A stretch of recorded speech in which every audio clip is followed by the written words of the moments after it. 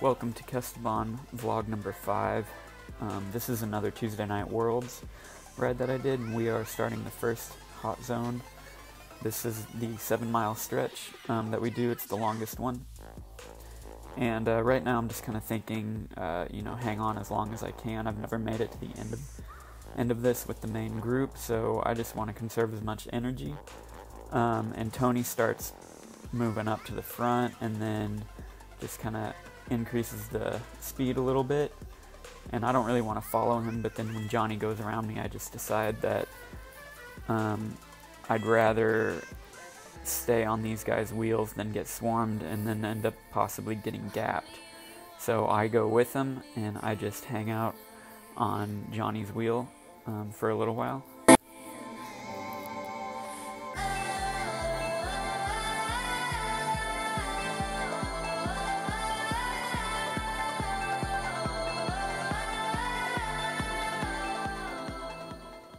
So I don't really want to do too much work, um, so I'm just okay with letting Johnny pull for a little bit right now. Um, but as we approach this turn, um, Johnny's gonna look back and kind of look like he's waiting for somebody to come around him, and so I just decide to go ahead and do a pull and um, the rest of the group stuck with us, so um, as soon as I go around them, somebody else comes around me, and we just kind of get into a pace line that will continue for about the next two miles.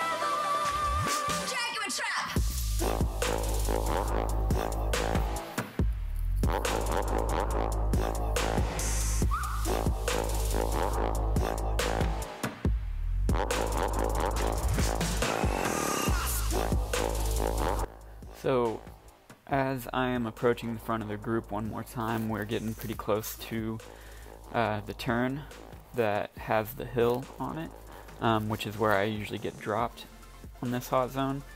Um, and here I am kind of moving up into second position right behind Kevin, and Micah and James put in an attack right before the turn. And none of us on the front are really uh, some of the faster guys, so we just kind of let it go right now and uh, hope that we can just reel it reel it back in. Um, but since they went off the front um, right before this turn, uh, once we get onto the hill, the pace um, just gets lifted and everybody starts to, to really push it up this hill.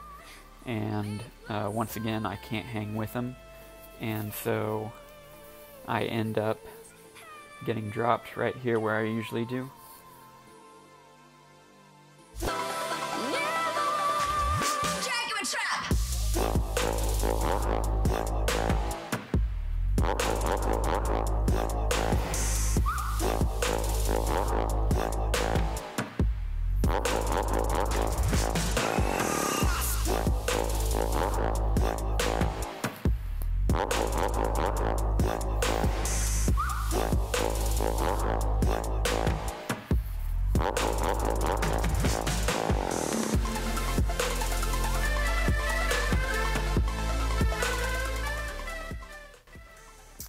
So here we are on the second hot zone. This is only three miles long.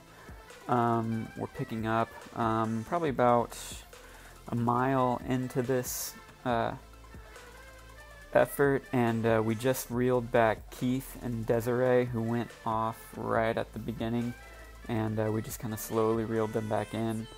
Um, and the last time I was on this ride, I ended up on the front accidentally, just kind of following wheels, and blew up and then went from first to second or first to last in about five seconds.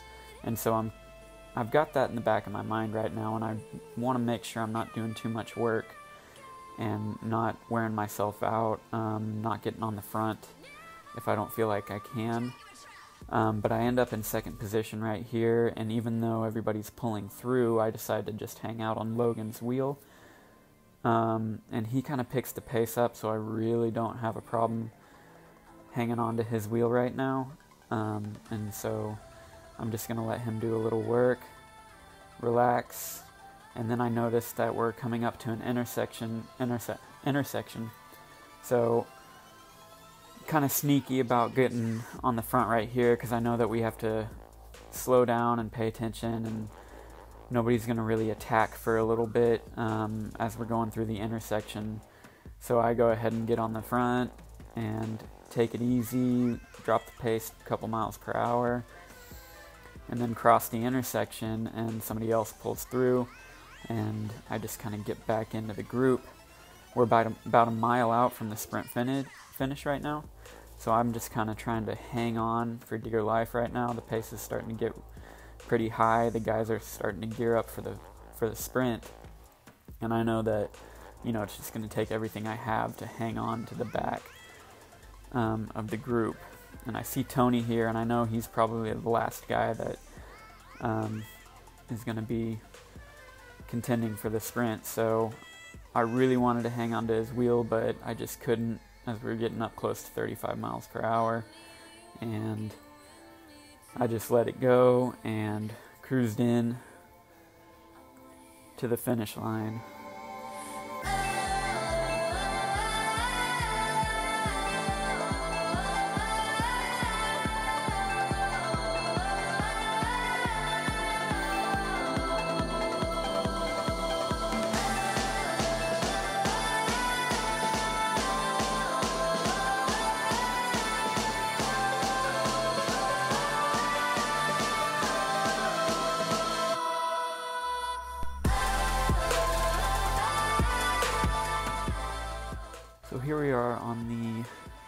Last hot zone. Um, this is only two miles. It starts off with a with a little kicker, um, and right now I'm just trying to survive the hill. Um, a few of the people kind of get sorted out on this hill, and uh, the name of the game is just stick with the group over the hill. So I'm just trying to ride wheels make sure I stay up with the front group and uh, I'm also really paying attention, making sure that the guys in front of me aren't letting gaps open up, um, make, making sure that I'm covering those if I need to. So as we come around this corner, um, I notice this uh, guy in the black with the neon yellow um, is right in front of me, and I know he's a pretty strong guy, so I just decide for this last mile, I'm going to hang on to his wheel as much as I can, no matter what. Um, and um, I can trust that he's going to put me in a pretty good position coming into the final sprint. And so that's what I do.